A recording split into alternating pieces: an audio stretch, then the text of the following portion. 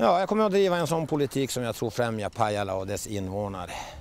Och absolut ingen främlingsfientlighet. Jag menar, Pajala har ju alltid varit ett gränslöst område och det ska det fortsätta vara.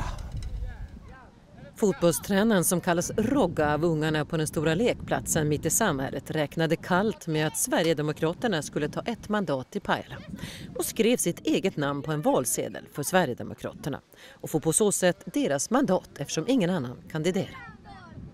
Har Sverigedemokraterna ingen som vill representera Sverigedemokraterna så kommer jag att ta den där tomma stolen och driva pragmatisk politik, politik för, för Pajalas bästa. Vad skulle du säga att du har gjort? Ja, det är väl en kidnappning av ett mandat. Sverigedemokraterna saknade egna kommunala valsedlar med partiföreträdare i över 30 av landets kommuner från Pajala i norr till Bjuv i söder.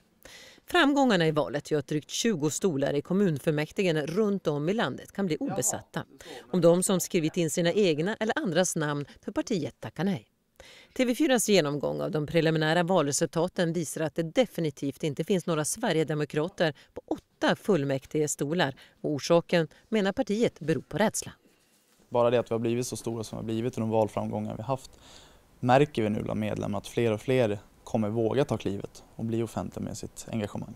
Varför menar du att eh, folk inte har vågat ta klivet att skriva upp sig på lokala listor? Ja, därför att media och våra politiska motståndare ger oss, kallar oss nedlåtande epitet och smutskastar oss. Det är ett jätteproblem.